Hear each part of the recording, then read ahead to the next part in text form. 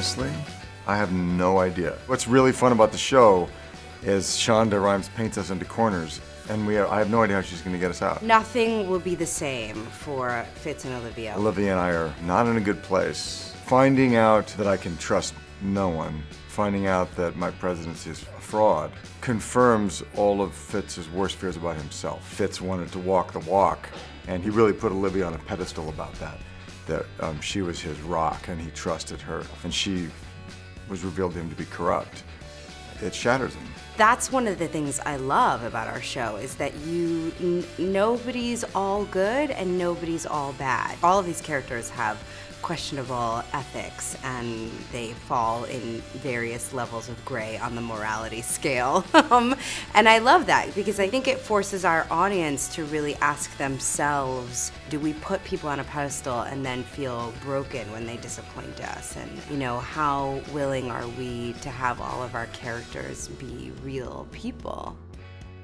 Yeah. I, I don't know how we'd ever, I don't know how we'll get there, but I do think that these two people do belong together.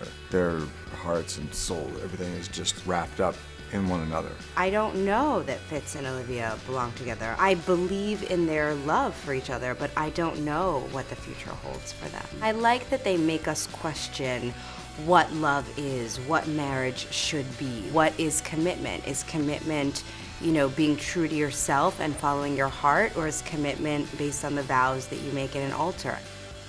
Kerry is, uh, she's a really extraordinary person. I knew she was a great actress, but getting to know her and working with her, she's this deeply good, loving person, has this unbridled enthusiasm and passion for work every day, and um, that's infectious. And then we have this really weird chemistry that we don't talk about much together because we don't want to jinx it. Oh, what don't I love about Tony? Tony Goldwyn is a phenomenal human being. He's smart, he's funny, he's humble, he's I mean, I would say his one flaw is that he's not good to look at, but you know, you gotta just do what you can to work around it because so much of the rest of him is so great.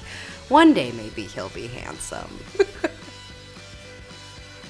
I am Tony Goldwyn. I'm Kerry Washington. And you're watching And you're watching TV Guide Magazine. TV Guide Magazine.